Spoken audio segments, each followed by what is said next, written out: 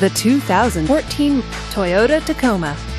This is a double cab pickup truck with an automatic transmission.